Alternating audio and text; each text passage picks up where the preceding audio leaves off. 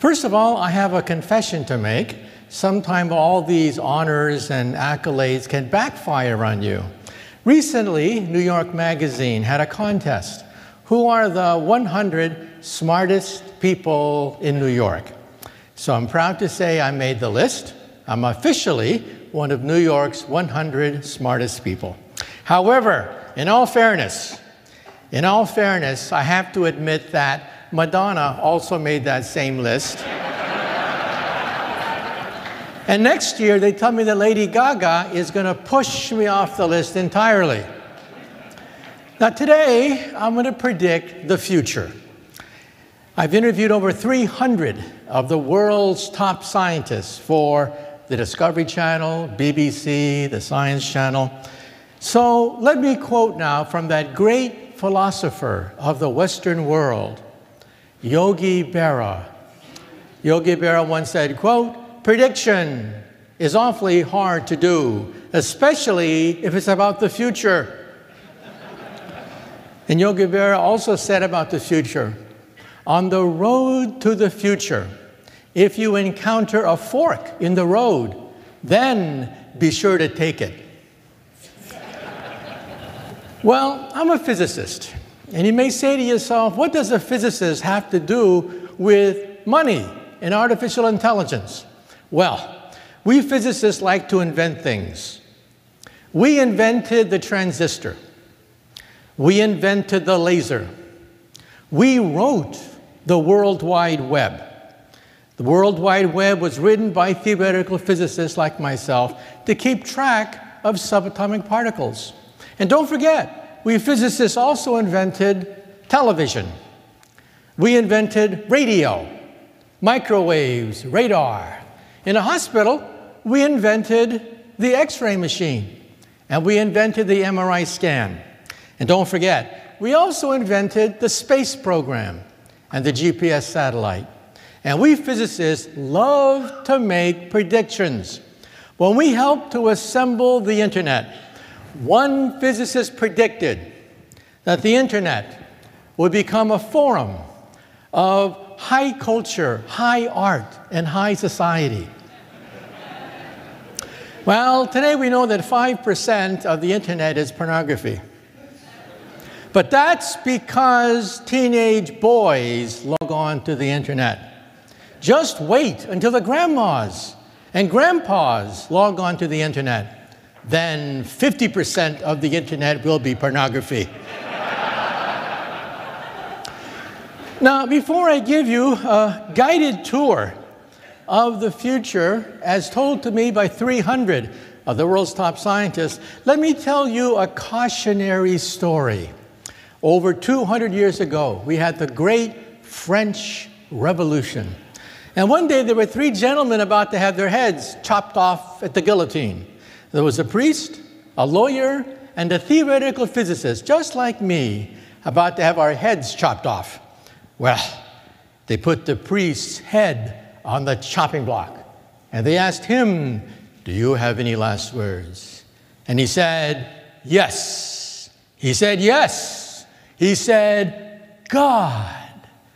God from above shall certainly set me free. Well, all eyes were on the blade. They raised the blade.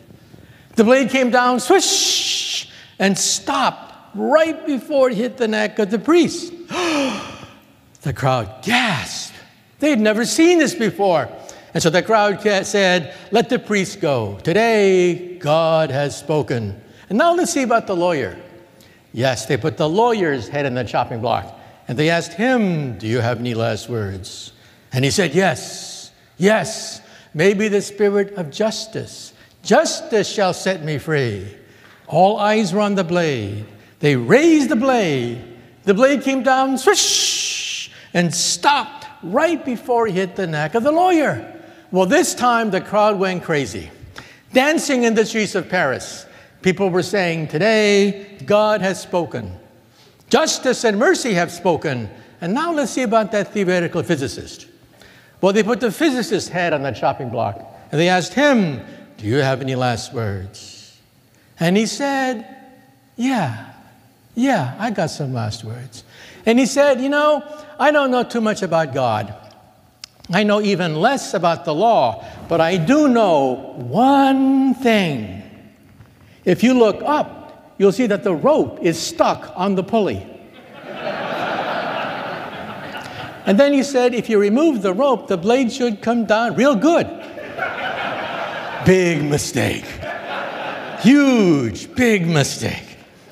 Well, the rope came down, the blade came down, and the poor physicist's head came down. And it just goes to show you that sometimes we physicists have to know when to keep our mouth shut. Nonetheless, let me open now the mouths of 300 of the world's top scientists that I've interviewed for my national radio program, BBC television, the Discovery Channel, and the Science Channel. In this book, Physics of the Future, I go 100 years into the future. What about robots, space travel, cancer research? What about the future of artificial intelligence? And in this book, I answer the question of all questions, the question that has haunted philosophers and theologians for thousands of years. And that question is Is there intelligent life on the earth? and their answer is obviously no no intelligent life on this planet. Ever seen American television recently? In this book, Physics of the Impossible, I go 500 years into the future. But we might have starships, we might have teleportation, maybe even time travel. And I answer the question what happens if you enter a time machine and you go back into the past and meet your teenage mother before you're born and she falls in love with you? Well, if your teenage mother falls in love with you before you're born, you're in deep doo doo if that happens. And in my latest book, Physics of the Future of the Mind, I talk about the digitization process. We are digitizing music, we're digitizing media, we're going to digitize medicine, and the next frontier to be digitized is the mind. Two years ago, we were able to download the first memory Memories can now be sent on the internet. This means that eventually the internet will change into BrainNet. BrainNet is the next stage in the evolution of the internet. When we send memories, feelings, emotions on the internet, teenagers will go crazy. Teenagers put the happy face at the end of every sentence. Why put a happy face at the end of every sentence? If you could put the emotion, the feeling of your first date, the senior prom, the first kiss on the internet. So watch for it, the coming of BrainNet, when we send memories, emotions, feelings on the internet. But today, we are talking about money. So let us first answer the key question of all questions, and that is where does wealth come from anyway? If you ask a lawyer, where does wealth come from? They would say, that's easy lawsuits. You sue Peter to pay Paul. That's where wealth comes from. It's a zero sum game. Well, lawyers eventually become politicians. And if you ask a politician where does wealth comes from, the politician says, that's easy. Taxes. You tax Peter to pay Paul. A zero sum game. Well, I'm a physicist. We believe that you simply cannot rearrange wealth, you have to create wealth. And wealth comes in waves. The first wave of science and technology was the steam engine. We physicists in the 1800s worked out the thermodynamics of steam. We could calculate how many joules of energy you get from a lump of coal. And that set into motion the locomotive. All of a sudden, we had steam engines, factories producing enormous amounts of goods and services. 80 years after that, we physicists worked out the theory of electricity, magnetism, and the internal combustion cycle. And that gave birth to the electric revolution. And then 80 years after that, we physicists worked out the third wave of wealth generation high technology transistors, lasers, all the wealth of the space program and telecommunications. Now, the question for today is what is the fourth wave? The first wave was steam power, the second wave was electricity, the third wave was computers and transistors. What is the fourth wave of wealth generation? I say the fourth wave is artificial intelligence, biotech, and nanotech. Science at the molecular level. So let's now analyze how the fourth wave of wealth generation is going to ripple through society and change everything.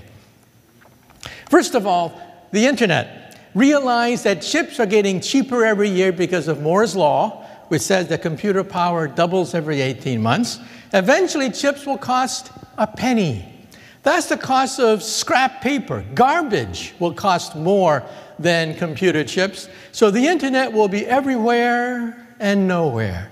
Already in the operating room, physicians can use the internet to download x rays, download MRI scans, download information. That's today. In the future, they will talk to the internet. The internet will gradually become intelligent. Artificial intelligence, so that in the operating table, the doctor can have a conversation with the internet, with the intelligence in the internet. And of course, who's pioneering much of this technology? I mean, after all, who invented the internet? The internet was not invented by Al Gore. The internet was pioneered by DARPA, the Pentagon, and DARPA is not standing still. Already, DARPA wants to put the internet in the eyepiece of every soldier. So soldiers simply have to blink and they will be online. And so we're talking about a new era. First of all, of virtual reality, where you put on goggles and so you can see a movie. Children love virtual reality, but augmented reality, where you can actually interpret what you are seeing. And beyond that, beyond augmented reality, is artificial intelligence, when you'll be able to talk to expert systems, argue with them, exchange notes with expert systems. In other words, you will have a companion on the operating table, a companion when you design spaceships, a companion that has expert knowledge. And of course, there's a problem with goggles, they give you seasickness because what you see and what you feel, there's a mismatch. So we want to put the internet inside your contact lens. So, who are the first people to buy internet contact lenses? College students taking final examinations. College students of the future will blink and see all the answers to my exam right there in their contact lens. This is going to revolutionize education. Professors will no longer be able to require students to memorize the periodic chart of elements, to memorize the amino acids, to memorize all the details of science and technology. These internet contact lenses can also recognize people's faces. And when you speak Chinese, they will translate Chinese into English at the same level of accuracy as a UN translator. That is how accurate translation programs are becoming. When you see somebody, you'll see their biography right next to their name. How often have you bumped into somebody at a conference like this? You bump into somebody and you say to yourself, I know this person. Jim, John, Jake, I know this person. In the future, your contact lens will say, It's Jim, stupid. You see him every year at this conference. And here's his complete biography right there in your contact lens. And tonight, you're at a cocktail party. And there's some very important clients at that cocktail party, but you don't know who they are. In the future, you will know exactly who to suck up to at any cocktail party. So we will live in a world of virtual reality, conjuring up images of things that don't exist, augmented reality where things are annotated. You understand who you're talking to, what you're talking about, and artificial intelligence where you'll be able to talk talk to the internet, expert systems that access expert knowledge. So, in some sense, it'll be sort of like Star Trek, where you walk into the hologram and you see a whole new world erupt right in front of you. So, in the future, you'll always know who you're talking to, what you're looking at, you'll be able to access information and bounce ideas off the internet. So, what about your cell phone? Well, the cell phone, of course, will be pivotal in all of this. First of all, why do we have to have PCs, laptops, tablets, and cell phones? Well, they have a different size screen. That's why. Well, why not have a screen that's adjustable? This is the cell phone of the future, where you can scroll out e paper, intelligent paper, and scroll out as much paper as you want. You can create a screen as big as you want because we physicists can make paper intelligent. In fact, we can make yards of this stuff. This is the future of your wallpaper. Wallpaper will become intelligent in the future because chips only cost a penny, as I said. Today, if your wallpaper is old, discolored, stained, ratty looking, what do you do?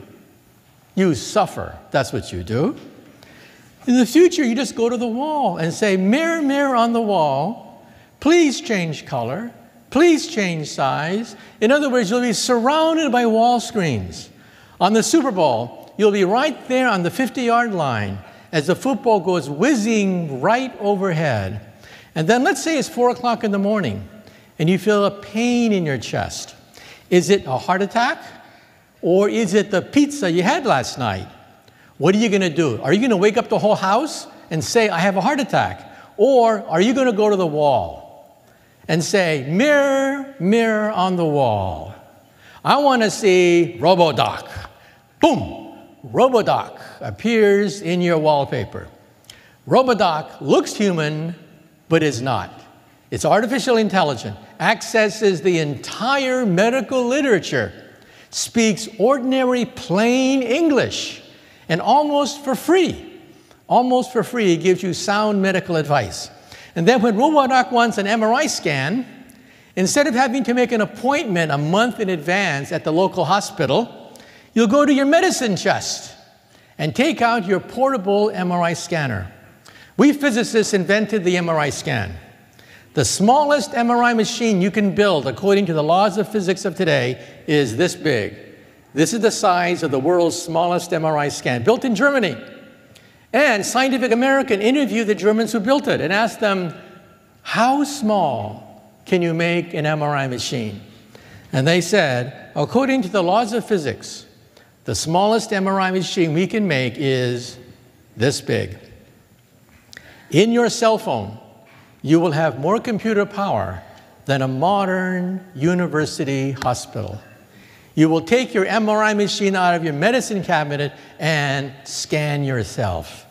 And let's say you're driving in a car in a foreign country and you're in a car accident and you got to talk to a lawyer real fast. You're in a strange land. You don't speak the language. You don't know any of the laws. What do you do? You talk to your wristwatch and talk to Robo Lawyer. Robo Lawyer is inside your wristwatch, is artificially intelligent, speaks any language, and understands the local codes in every country. Robo Lawyer will get you out of a jam. And then the next question is how will all this affect society? Let me give you the good news and the bad news. The good news is this means that society will be cheaper, things will be more efficient, smoother, seamless, frictionless. The friction of society will be eliminated. That's the good news. What's the bad news? The bad news is pretty awful. The bad news is in the future, we will have lawyers. Why is that? Because only a lawyer can talk to a jury. Only a lawyer can talk to a judge. Only a, ju- only a lawyer knows the changing mores of society. Robots do not. We forget that robots are adding machines. They're very sophisticated. They can add a million times faster than us, giving us the illusion that they are thinking and that they are conscious. Actually, they're not at all. And so then the question is how will this ripple through society? Let's say you're an investor and you want to know what's happening with a certain stock, which goes up and down, up and down, and you're clueless to understand why. What are you going to do? You're going to go to your wristwatch. You're going to go to your contact lens and say, I want to talk to Robo Investor. Robo Investor scans the market, understands all the literature concerning one particular stock, and tells you why it's going up, why it's going down. And then you ask it, make a prediction. Doesn't have to be accurate, but what is your best judgment as to whether it's going to go up or down? Well, Robo Investor has a few algorithms and it makes a prediction. Of course, you don't have to accept it, but what's happening is you now get expert advice, something to supplement your own intuition. And let's say you're a developer, and I live in Manhattan. When I walk down the streets of Manhattan, I see all these skyscrapers. I don't know who owns them. I don't know how much they're worth. I don't know what the property value is. I don't know what the property tax is. I don't know the codes, the regulations. In the future, as you walk down the streets of Manhattan, robo developer will scan the skyscrapers, identify each one, tell you who owns it, tell you how much it's worth, tell you what the property tax is, tell you what the regulations are, and tell you is it on the up and up or is it on the decline. So, in other words, artificial intelligence will make a first guess as to what property values will look like in the future. And if you want to renovate it, if you want to buy it, renovate it, you will ask Robo Developer, what will it look like if I develop it? What's your estimate as to what profit margin I will make? It'll make a first guess. And as we mentioned, if you are a doctor, you have all this information. Medical information changes every week, every month. New breakthroughs are being made. How do you keep track of all this? Well, you talk to RoboDoc. And RoboDoc scans the medical literature and gives you an independent diagnosis now, will this replace the doctor? No. Ultimately, you want a doctor with experience, know how, savvy. You want a doctor who's been through it many times, not simply RoboDoc. So we'll still have doctors, we'll still have lawyers, but they'll use these as aids. And then if you're a banker, you're flooded with mortgage applications, flooded with loan applications. You have to sift through piles and piles of data and then make an analysis. Well, RoboBanker is right there in your contact lens. Artificially intelligent, helping you to analyze trends, helping you to analyze is this person creditworthy or not. And RoboLawyer will also be able to access the medical literature. So in the future, we will have lawyers, but will we have paralegals? And the answer is probably no. There are going to be winners and losers in this game, and one of the losers will be people involved in middlemen work, people who shuffle do documents and are basically human search engines. They could be pushed out in the law firm of the future. And what about robo engineer? Let's say you're an engineer in a machine shop, and all of a sudden something breaks down. Normally, you'd have to identify the part that broke down call the company, and then make arrangements to have it shipped out as soon as possible. May take weeks. In the future, you will scan your machine that broke down, robo engineer identifies the part, and instead of, instead of asking for it, it manufactures the part on demand. 3D printers can now print metal, not just plastic, but 3D printers are now beginning to print metal. In fact, see those shoes there? Those shoes were made on the spot. They were made by a 3D printer in a shoe store. So you don't have to wait for that designer shoe. You can have the designer shoe manufactured as you wait in a shoe store. So we're going from mass production to mass customization. And then if you're a robo architect, if you are an architect, you'll be able to wave your hands, move parts of the design, and you'll immediately know the building codes. You'll immediately know the stresses and strains on your design. You'll immediately have access to as much information as you want if you are robo architect. And what about the chauffeur of the future? Well, Silicon Valley has set aside the year 2020 to have the driverless car. Not only that, but the driverless car will become a robot. I say that the robotics industry will eventually become bigger than the automobile industry of today. We're going to have thousands of people involved with designing, machining, repairing robots. In fact, your car will become a robot. You'll argue with it. You'll talk to your car, and the car will park itself. One of the annoyances of having a car in Manhattan is having to park it. In the future, you'll talk to your wristwatch and tell your car, park yourself. The car then scans parking lots and parks itself. In fact, in the future, this could affect insurance rates because people will get into fewer car accidents. And people may not want to own a car in the future. They may simply want to lease it by simply talking to their wristwatch and saying, I want a car in another hour, rather than having to park it and worry about it all the time. So, the robotics industry may become bigger than the automobile industry of today. But there's some people who say, wait a minute, isn't this dangerous? I mean, won't these robots turn against you? Robots that can be a cook on the right, robots that can be a nurse, robots that can play the trumpet, robots that can greet you when you check into a hotel. These are the robots built in Japan. Japan, first of all, has a vested interest in creating robots because Japan is aging faster than any country on the planet Earth. Japan loses a third of a million people every year by mid century, the Japanese population will contract at the rate of 1 million people per year. That is the official estimate of the government. Europe is next. Germany, Austria, Switzerland, they're going to start to contract as Japan is contracting now.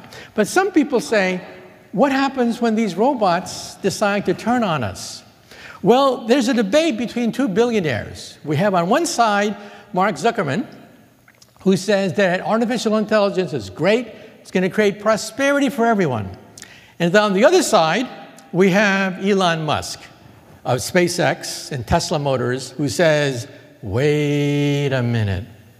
These pose an existential threat to humanity. In other words, some people fear that one day our creations will put us behind bars and throw peanuts at us and make us dance behind bars, just like we make bears dance behind bars of today. Well, I was on CNN on the Richard Quest show, and Mr. Quest asked me the question who's right, Zuckerberg or Musk? And I said, well, actually, both are right to some degree. In the short term, for the next many decades, until probably the late in the century, for many decades, Zuckerberg is right. There are billionaires waiting to be minted, new industries, new productivity, new visions created by artificial intelligence, which I claim is the fourth wave of wealth generation. But in the long term, let's face it, in the long term, eventually these robots could become dangerous. Right now, Asimo on the left, you see here, is one of the world's most advanced robots. Asimo can run, walk, climb upstairs, and dance. In fact, it dances much better than me. I've been on several programs with Asimo. But on BBC television, I interviewed the creator of Asimo. And I said, Look, your creation is one of the most advanced robots in the world. How smart is the world's most advanced robot? And he was quite honest. He said, I paraphrase, he said his creation, Asimo, has the intelligence of a cockroach, a retarded cockroach, a stupid, retarded cockroach. It can barely run across the room. It cannot find mates. It cannot hide. It cannot do things that cockroaches can do. But one day it will be as smart as a mouse. Then it will be as smart as a rat. Then it will be as smart as a rabbit. Then as smart as a cat, a dog, and eventually as smart as a monkey. At that point, they could become dangerous because they will have something that robots do not have today. What is the tipping point? The tipping point between Zuckerberg and Musk. The tipping point is when robots become self aware.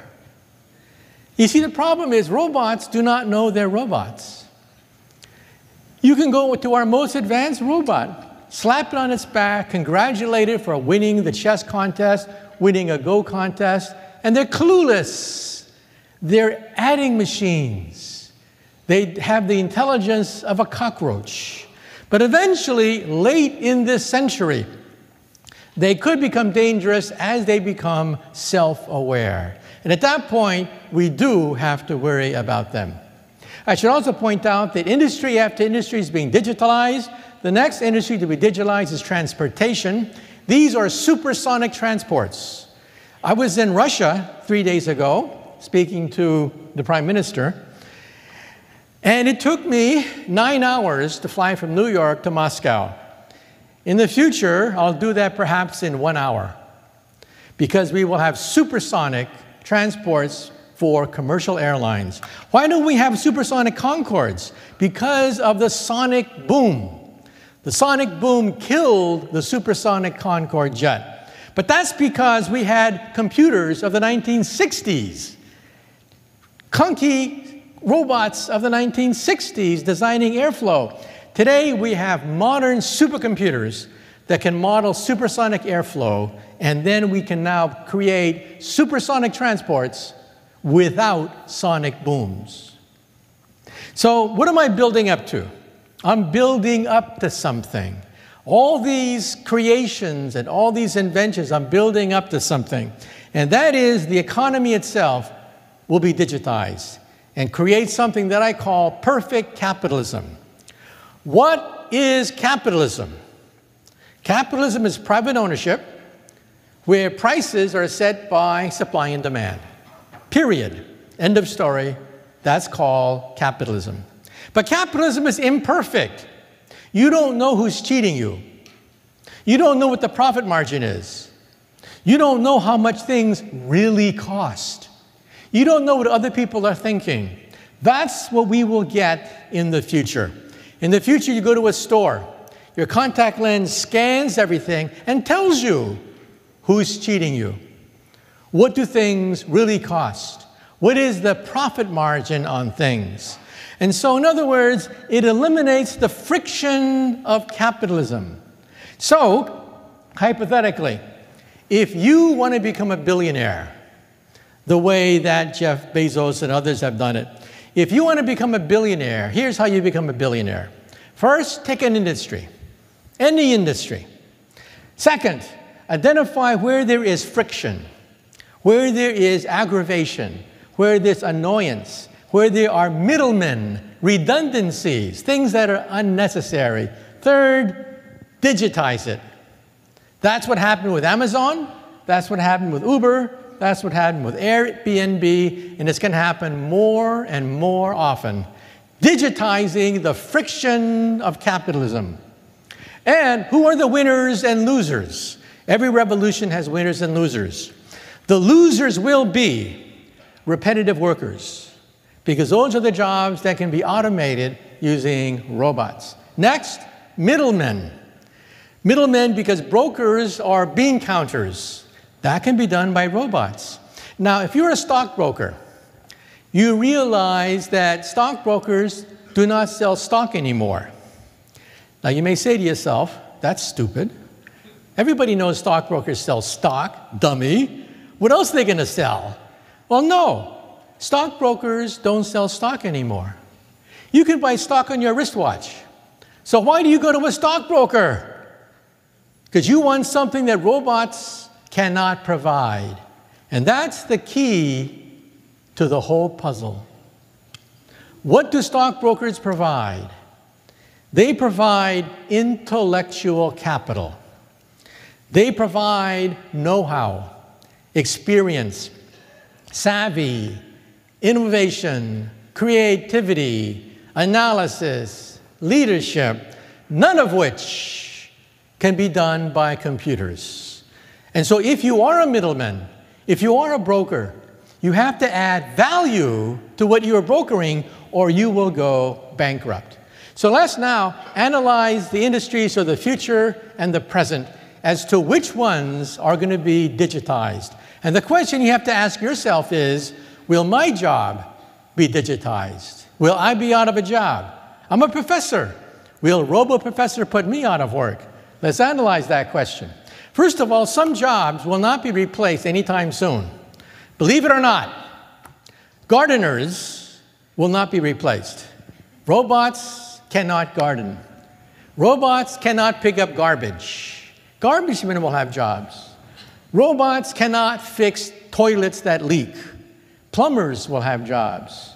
Garbage men will have jobs. Policemen will have jobs. Because these are non repetitive, semi skilled jobs that no robot on the planet Earth can duplicate. Those people will have jobs. Middlemen may be out of work, but plumbers, how many robots can fix a leaky plumb, a leaky toilet? You know, we have one place where a robot could change history, and that is at Fukushima. The United States Pentagon, DARPA, which pioneered the internet, created the Fukushima Challenge. It challenged scientists of the world to create a robot that can clean up the mess at Fukushima, where we have three melted nuclear power plants. Ideal space to highlight artificial intelligence. Well, almost every single robot failed. Robots cannot pick up garbage. Now, let's talk about the next big area to be digitized. We talked about music. Who controls the music industry today? Apple computers through iTunes. The computer industry controls the music industry because the music industry failed to digitize.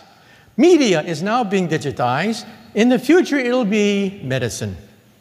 Baby boomers are getting older and older, and so we're not talking about the digitization of the human body. First of all, we're going to digitize blood. In your blood are the hallmarks of cancer. Right now, in this room, in this room right now, some of you have cancer growing in your body. You don't know it. No test can tell you that. In 10 years' time, you may die of this cancer. Why can't we diagnose cancer today? Well, by the time you have a tumor, let's say you're a woman and you feel a tumor in your breast, they don't tell you this, but it's too late. By the time you feel a tumor in your breast, you have about 10 billion cancer cells growing in your breast. You are on the operating table. No ifs, no ands, or buts. You are on the operating table. In the future, we will have liquid biopsies. We'll digitize your blood, and your blood will tell you that we have fragments of cancer genes, fragments of cancer enzymes, cancer proteins in a colony of 100 cancer cells. Ladies and gentlemen, what I'm saying is, in the future, the word tumor will disappear from the English language. In the future, we will no longer say the word computer. The word computer will disappear from the English language. The word tumor will also disappear from the English language because we'll detect cancer colonies 10 years before a tumor forms. Thanks to Silicon Valley, we have DNA chips and liquid biopsies. They're going to be commercialized starting next year. Ask your doctor. You could have cancer growing in your body right now and never know it for another 10 years before it's too late. And we will digitize the human body. This is an ear. It is made out of plastic. You seed it with your own ear cells, and your own ear cells grow into a perfect ear.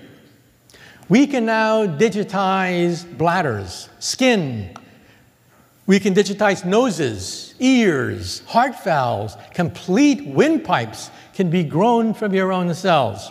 In fact, the next major organ to be digitized is the liver. So, for all you alcoholics in the audience, you can drink up tonight knowing that we're hot on the trail of digitizing the liver. Even cartilage for baby boomers with aching joints can be digitized. We can now make unlimited quantities of cartilage. Even a beating heart. This is a mouse beating heart that's been digitized.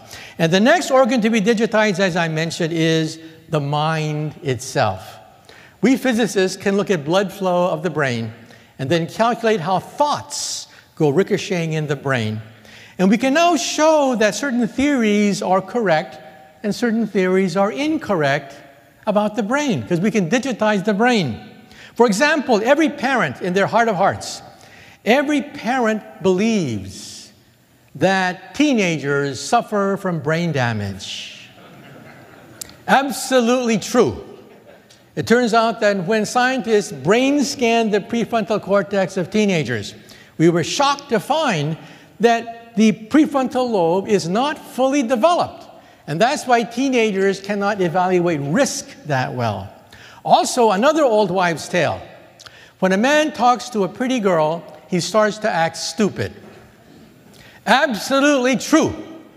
They took many men in college, had them talk to a pretty girl, and they found that blood drained from the prefrontal cortex, and they started to become mentally retarded.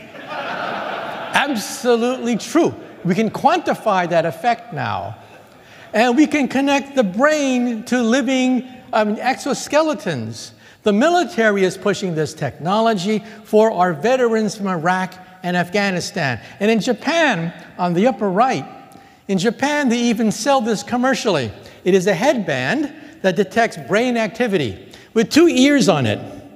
At a party, when you talk to someone who's very interesting, the two ears light up like this. But when you talk to someone who's boring, the two ears go like this, like that.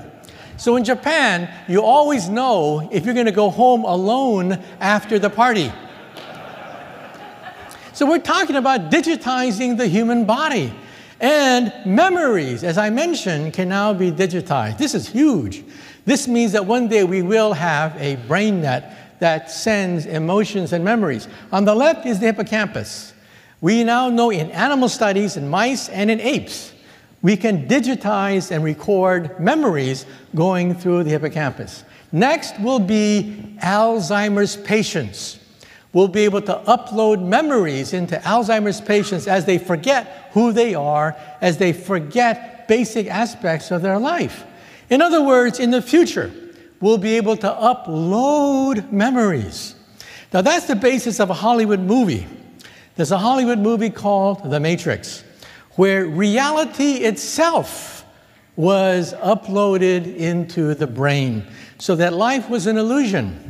So I'm winding up now. So let me ask you a question. Let me ask you a crazy question.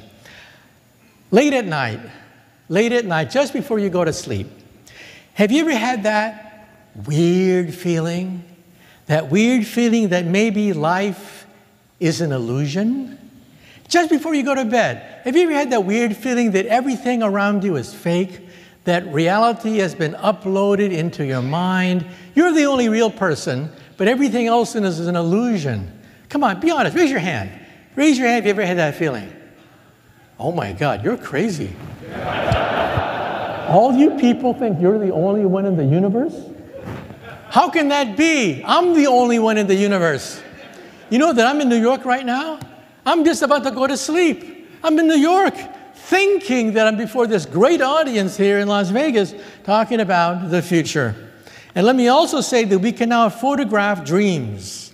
This is cutting edge research mentioned in my book. On the left, we can brain scan the human brain into 30,000 dots of blood flow. This is done at Berkeley, uh, where I got my PhD so many years ago. And by putting this through a computer program, we can construct a picture, a picture of what you are thinking of. On the top is Steve Martin as he really is, and below that is a picture constructed by a computer program analyzing 30,000 points of blood flow in the human brain. Amazing. And then when you fall asleep, when you fall asleep, the machine keeps on going and prints a picture of your dream. So in the future, when you wake up in the morning, you'll push a button and perhaps see the dream that you had the previous night. And of course, do not show that dream to your wife. anyway, let's wind up because I have to take I have to take questions and answers from the audience. Afterwards, I will be signing some books. And after that, you can go to eBay and auction them off for money. So let me say a few things. First of all, every revolution has winners and losers. The losers are people who do repetitive jobs.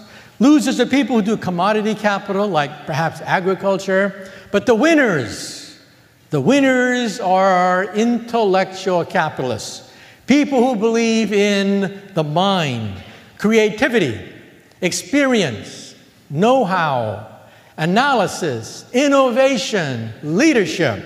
And so the point of my talk is very simple. You are among the winners. Congratulations, you are intellectual capitalists. You are people at the forefront of innovation, experience, knowledge, know how, leadership, creativity. That is the currency of the future. And now let me just say a few things about myself and then I'll wind up. When I was a child, I had a role model. My role model was Albert Einstein. And let me tell you my favorite Einstein story.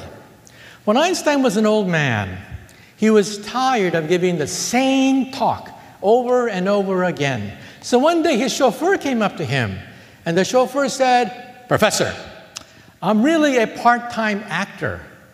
I've heard your speech so many times, I've memorized it. So why don't we switch places? I will put on a mustache. I will put on a wig.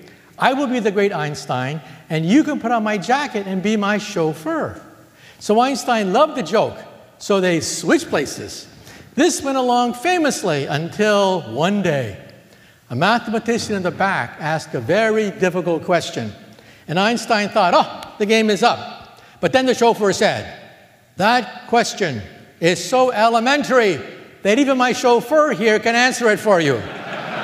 Thank you very much. You've been a great audience. Thank you. And we'll open it up to questions from the audience. Thank you very much. We have two microphones, so come on up if you have any questions about the future. Because after all, we're only, talk, we're only talking about your future. So come on up and ask some questions. Thank you so very much for a very enlightening and very entertaining uh, presentation. I was wondering if you could comment a little bit uh, about humanity's ability to keep up with technology and to adapt to it. I mean, with these great ideas and technology racing ahead, um, maybe speaking to, uh, I guess in some cases, uh, the people's or humanity's difficulty in keeping up with all the things that we can do with these new capabilities? Well, if you want to keep up with the latest developments in this technology, talk to your children. Because your children probably have a much better understanding of this, because your kids know this is my future. My future is invested in this technology. And these kids share the technology left and right with their own pals. And so that's the first thing you should do. Second thing you should do is realize that certain trends that are predicted may not come to fruition. For example, some people think that very soon robots will be smarter than us. Very soon. But there's a problem. That prediction is based on Moore's Law that says a computer power doubles every 18 months. But they don't tell you this. Moore's Law is slowing down. We see it now. You can talk to any physicist, and they'll say, yes, Moore's Law is slowing down. Why is that? Because a Pentium chip has a layer that consists about, of about 20 atoms thick at minimum. 20 atoms thick. That's the thinnest layer on a Pentium chip. But in five, ten years, it'll be five atoms across. At that point, the Heisenberg uncertainty principle kicks in. You don't know where the electron is anymore, and it leaks. At the atomic level, silicon is unstable. So we are staring at the end of the age of silicon. A new age will dawn, the post silicon era. Silicon Valley could become a rust belt, like the steel rust belt of old. Now, this is not going to happen anytime soon. It's still a decade or two away. But that's why I was in Moscow a few days ago, speaking to the prime minister in Moscow, in Russia, about quantum computers. That ultimately we may have to go to a new architecture, not anytime soon, but quantum computers, because we will exhaust the power of silicon. So, anyway, just to keep up, talk to your kids. They're at the forefront of telecommunications, but also read some of the physics literature. We physicists realize that, well, we created this technology. We created it, but we also know the limitations of what we created. And so, and then the next question is some people think that robots will become self aware very soon.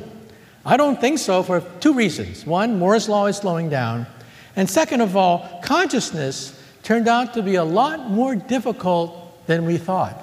Now, in my book, I have a definition that I propose for consciousness. I personally think that animals are conscious. In fact, I would say that the unit of consciousness, one unit of consciousness, is a thermostat, one feedback loop. And the lowest level of consciousness is that of an alligator that an alligator has spatial consciousness. Alligators understand their place in space. Beyond that, beyond alligator consciousness, beyond reptilian consciousness, is social consciousness that of wolves, that of pack animals, that of mice, emotional animals, animals uh, in a society. And then the question is what is human consciousness? If animal consciousness consists of spatial consciousness, and social consciousness.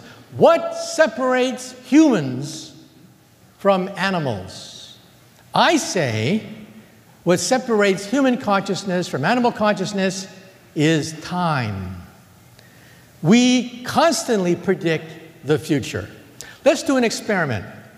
Go home tonight and teach your cat or dog the concept of tomorrow.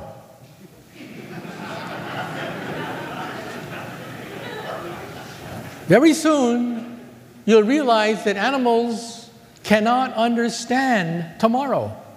They hibernate when it gets cold, but they have no understanding of yesterday, tomorrow. They live in the present. We are prediction machines. We constantly predict the future. And so, before a robot like Arnold Schwarzenegger in the movie Terminator, before robots can take over, they have to do something that no robot on the earth can do, and that is predict the future. That's what the brain is for. The brain is a prediction machine. The prefrontal cortex predicts the future. The back end of the brain is the reptilian brain. It is the brain of instinct, of appetite, balance. The center of the brain is the monkey brain, the brain of emotions. The front of the brain is the brain that predicts the future. No robot can predict the future the way we humans scheme, we connive, we plan for the future. We can't help it. Every single second, we're constantly scheming about the future.